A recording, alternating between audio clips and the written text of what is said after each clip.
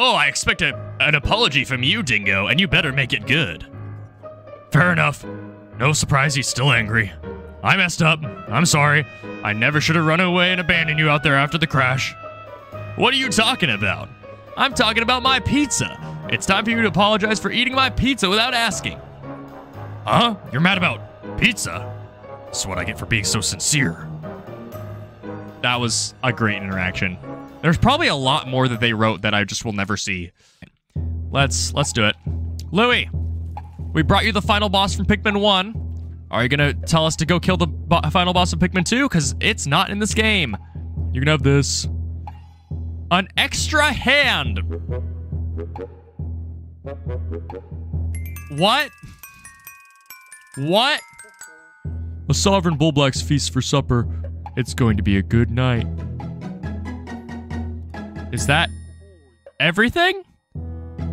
I like this planet. I want to show it to Nana someday. I think that might be everything. I think we just did the quest. President, what's his name? We don't know. I really want to stay here.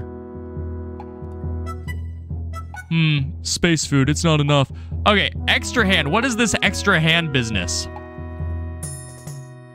Uh, gear and skills. Extra hand. I hear you only... What? I hear you can only carry the same amount as a single Pikmin. There's absolutely no shame in giving science a noble purpose.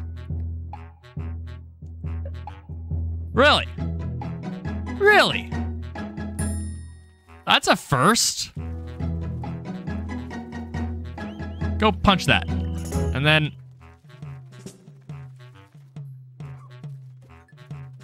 Watch this. Oh my word. That's... That's wild. And honestly, I think that's exactly what the short the reward should be. Because if it was good, what on earth we're done with the game. That's, you know, that's curtains, you know? It's like the the unlimited running for Oatchi. It's like, why do we get this? Although, doing the quest with that made it uh, in a much better, infinitely better. That is so funny. And something that, you know, every Pikmin player who grew up with this game has always wondered, why don't the captains just help? What's so special about the Pikmin? And I would be fine if captains could help. I I think that that would be a neat thing to do. If it was this week and it wasn't good at all, and it's like, hey, you're one off, might as well. Why not? I can carry golden raw material. Fair point. Um, it's not very fast. In fact, it looks like it's slower than any single Pikmin. Maybe a, a, a purple... You know what? We're going to test this. We're going to test this. Although I probably don't have a purple leaf Pikmin. Yeah, it's going to be a flower starting out, but that's fine. We could compare that. Oh, it's so much faster than me as a captain. Wow. Like, maybe, maybe a purple leaf is as slow. Because this is um, insanely slow. Can I help a Pikmin carry it too? Well, why don't we test? Use the Plunkaphone, which I constantly forgot that I had once I got it. Uh, okay, so I need those over there. Why? Why? Why? What? Did I just... Is that how that's supposed to work? Is that how that's supposed to work?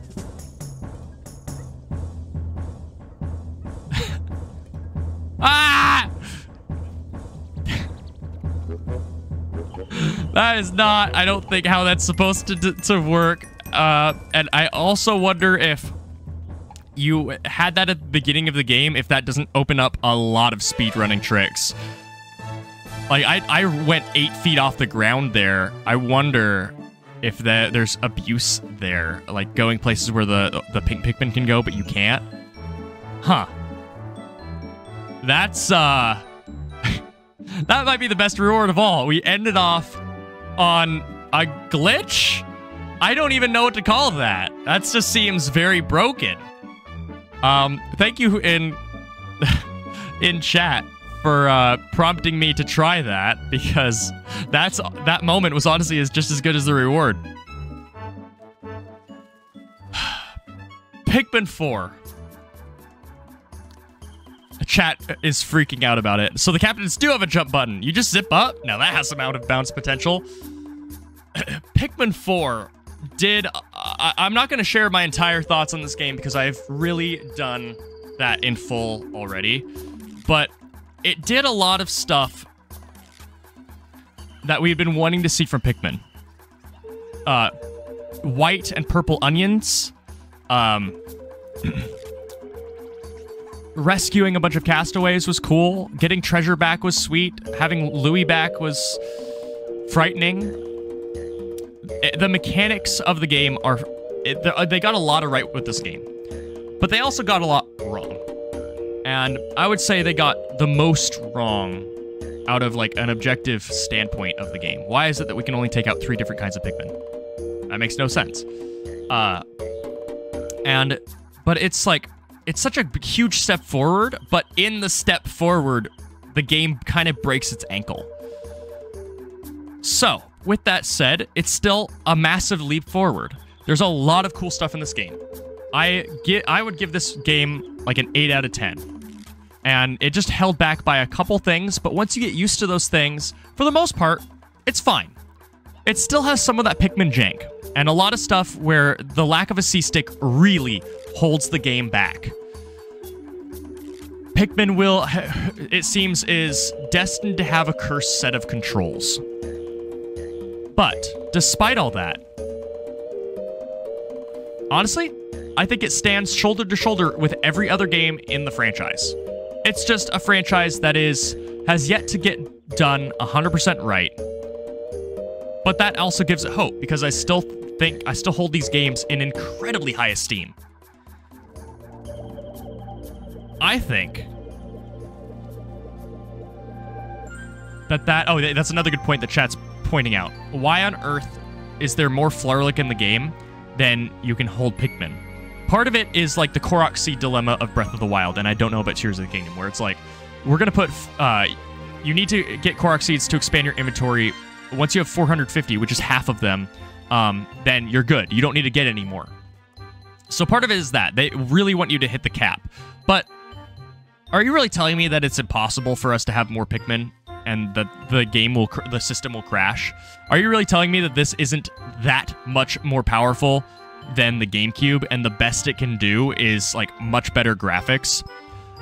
Undoubtedly, it is more. It was powerful enough to load some extra Pikmin. And that's kind of my challenge for the next Pikmin game. What I want to see is I want to see a finale where they say, "All right, you have 500 Pikmin, go." It's like it's like the finale of a Splatoon game where it's like they take off all they make you super overpowered or fire crazy beams or um, give you crazy stats like let's make this thing crazy.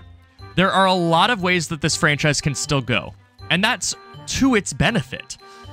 The fact that they're only scratching the surface and the scratches are I can't I, am running out of uh, ways to push this metaphor. The fact that they've done so many cool things with the, with these games, and yet you can think of so many cooler things that they could still do, like I've talked about with the survival-based Pikmin game, where it's like you, four captains scattered in one giant, giant wilderness, the sum of every map and Pikmin combined.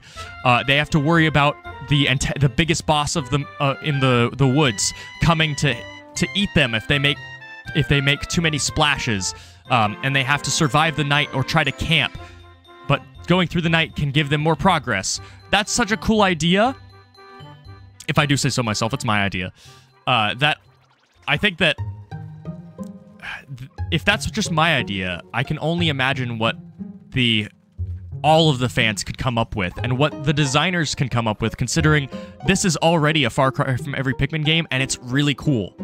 If you want to play a Pikmin game that feels like it really has it all, this is the one.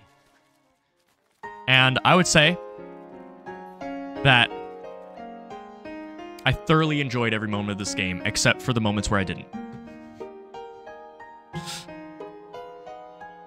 Thank you guys so much for watching. I will see you guys in the next Pikmin LP or the other videos I make on the channel. I'm also streaming now, as it's obvious from, you know, me being on screen.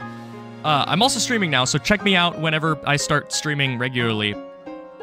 But I still have yet to do Pikmin 3, and it's weird that I'm going to be doing it last. I have some strong opinions about that game too, but I also love it.